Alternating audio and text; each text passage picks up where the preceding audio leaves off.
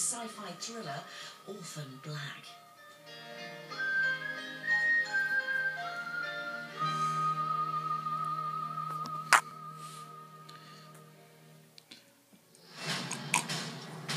The day of the Doctor.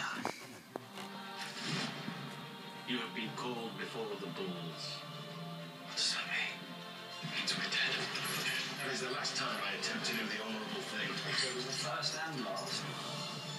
Your thoughts are with this boy. My thoughts are with all those who must face the pull. Only if all your team survives will you leave here as free men. We cannot trust to the gods, and we must deal with it ourselves. Atlantis continues tomorrow at 8.30 on BBC One and catch up on BBC iPlayer.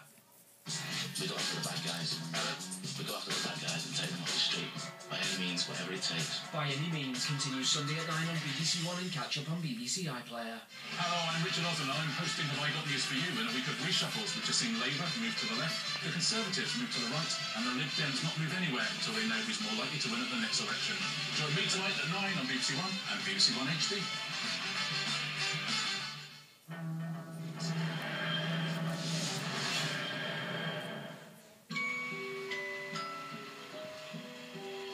We are bang into comedy mode here on BBC One with Have I Got News for You to come and Citizen Khan later at 9.30. First though, here's the ever-friendly Miranda. Hello.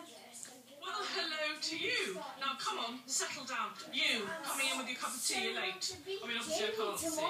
But if you were coming in with a cup of tea, then spooky slash exciting. so, previously in my life, it became obvious why I have an element of the prude about me. Mum, Dad, oh, listen, I wondered if I could borrow that. Oh, my eyes! Sorry, darling. Tuesday nights are now naughty knitting nights. Such fun. Not fun. What else? Oh yes, I've got a new friend, Tamara. She's waitressing at the restaurant. She's only 22, but I keep up pretty well. Oh yeah. Oh, Tamara, I think you've put a sausage roll in the Scotch egg tub. No, it doesn't matter. Go with the flow. Let's roll down the hill. Right. Okay. Crazy, the mind of the youth. that is hot. Why would you do that? And Gary and I haven't talked since he suggested we have um. met. Well, I'm not bothered. No, because I have a very exciting and fulfilling home life. Oh yeah, I mean last night was crazy.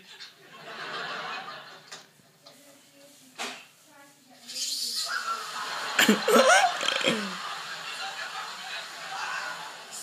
Good times. Right, let's jolly on with the show.